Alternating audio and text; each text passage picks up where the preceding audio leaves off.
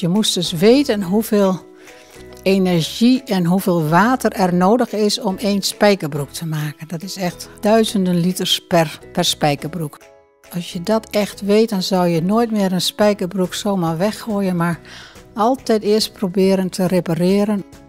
We gaan vandaag een spijkerbroek repareren, maat 128.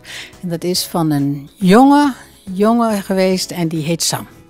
En die jongen die heeft een winkelhaak bij de knie gekregen. Maar de broek die hij nu krijgt, die is helemaal uniek, speciaal voor Sam. Van jongs af aan uh, hebben wij thuis uh, alles wat uh, stuk was geprobeerd om eerst zelf te repareren. Na de oorlog was er natuurlijk niet zoveel geld en niet zoveel materiaal. Dus dat hebben ze van, heb ik van, van huis uit meegekregen. En later ben ik zelf mij daarin gaan specialiseren en ben ook lerares coupeuse geworden. Dus dan gaat tornen we eerst de zijnaad los. De kant waar het bij een spijkerbroek vaak het gele stiksel zit, dat is wel vaak drie keer gestikt.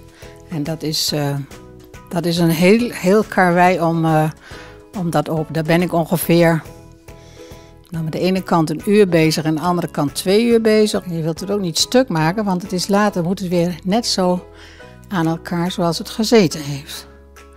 En vaak als het even mooi moet ook met dezelfde kleur garen. Nou, dit gaat dus wel even duren voordat het begin er is. En voordat dit zover klaar is. Daarom repareren we ook soms dat we repareren zonder die naad open te maken waar dat gele stiksel op zit. Want het is een heidens karwei. Als dit per uur betaald zou moeten worden, dan kan dat, dan kan dat niet. Dit moet echt veel meer als hobby, als uh, drive, als plezier. Wat mijn moeder vroeger deed, die bewaarde deze draadjes en die gebruikte die nog om daar weer verder mee te repareren. Dat vond ik echt helemaal super.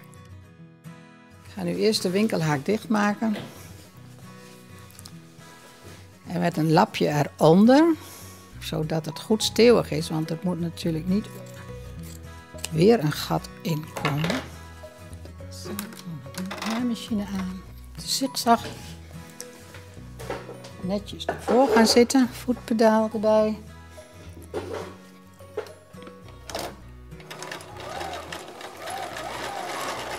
Kijk, zo wordt het netjes de winkelhaak gerepareerd. Goed, en nu heb ik uh, een uh, lapje gemaakt en daar staat uh, Sam op. Heb ik met dezelfde spijkerstof, maar dan van de binnenkant. Dus ik heb de stof omgekeerd. En, heb en dat, dat lapje, dat wordt nu precies, precies tussen, tussen de beide naden gelegd die uitgehaald zijn. Kijk, en dit doen we dan met een gewone rechte steek het lapje mooi op.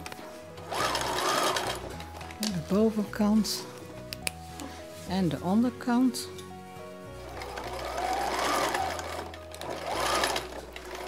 Altijd goed zorgen dat, er, dat je alleen maar het lapje en de broek naait en niet dat er halverwege een ander stuk van de broek tussen komt. Alle spijkerbroeken zijn te repareren. Ritsen inzetten, nieuwe ritsen in oude spijkerbroeken zetten, dat is wel is te repareren, maar dat is wel een heel uh, werk.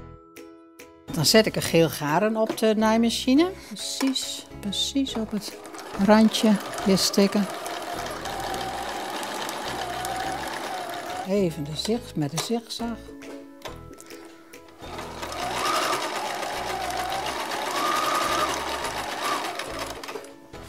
Nu is deze kant weer helemaal mooi. Wij als reparateurs hebben natuurlijk de pech dat op het moment heel erg in de mode is om allemaal gaten in je broek te hebben. Soms zie ik wel uh, kinderen lopen dat ik denk, oh wat zou ik graag jouw broek willen verstellen. Om meer te gaan repareren, uh, denk ik dat wij de, de materialen, de kleding, moet veel duurder. Het moet niet zijn dat we iedere week zeggen dat het normaal is om nieuwe kleren eh, aan te hebben, maar dat dat niet meer mag. Al die rommel, rommelkleren die mogen niet meer, uh, niet meer op de markt. En dan is het een kwestie van de broek binnenste buiten. En dat lapje zit er nu tussen. Zo. Precies meenemen. Dat gaan we vaststikken.